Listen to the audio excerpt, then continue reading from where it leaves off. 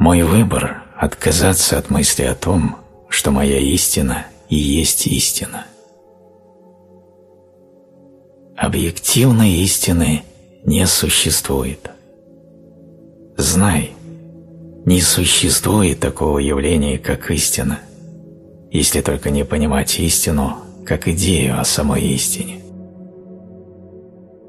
Даже те, кто сумел заглянуть за пределы иллюзии объективного мира, склонны цепляться за идеи существования высшей истины, некоего объективизированного уровня осознания, который выходит за рамки реальности.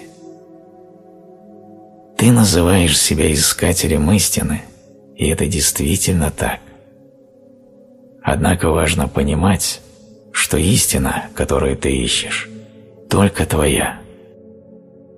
Ты ищешь состояние бытия, которые были бы полностью созвучны твоему сердцу. Пойми, это не делает такие состояния истиной. В лучшем случае они становятся твоей личной истиной на данный момент. Знай, что твоя личная истина не более обоснована, чем личная истина любого другого человека. Истина не является искомой вещью, чем-то вроде священного Грааля. Если ты все же предпочитаешь описывать ее именно в таких терминах, имея в виду, что священный Грааль есть состояние всего, что есть ты. Понять все это значит увидеть, что истина не идея, а состояние бытия. Идея не суть бытие. Идея не освобождает людей. Их освобождает свободное бытие.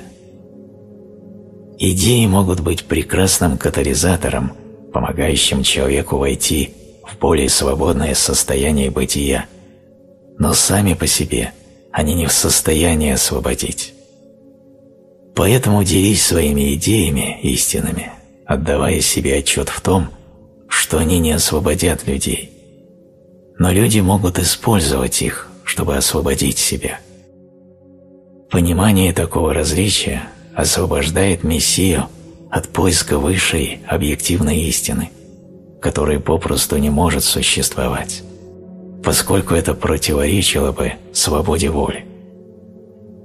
Отказаться от поисков истины значит найти то, что ты на самом деле ищешь, осознание того, что ты сам делаешь истину истиной. Всякая истина не более чем концепция, которая когда-то служила тебе, но ныне ограничивает твои представления о себе – Помни, идея может быть инструментом для достижения свободы, но никогда не самой свободой. Ты нечто большее, чем твоя истина. Ты – состояние бытия. Не боготвори истину. Не относись к ней, как к некоему реально существующему объекту. Пойми, в каждый миг истина представляет собой именно то, чем считаешь ее ты – ни больше, ни меньше. Люби истину, как любишь себя, то есть люби в ней непрестанно изменяющееся, эволюционирующее, великолепное проявление всего, что есть.